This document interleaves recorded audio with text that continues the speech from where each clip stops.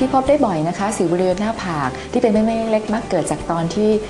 เป็นวัยรุ่นนะคะ แล้วก็มีฮอร์โมนเปลี่ยนแปลง ก็จะเริ่มมีสิวขึ้นนะคะ แล้วก็เมื่อขึ้นเนี่ยตำแหน่งนั้นมันจะเป็นตำแหน่ง T โซนนะคะ แล้วก็มันมักจะขึ้นบริเวณหน้าผาก ซึ่งเราก็พบได้บ่อยค่ะ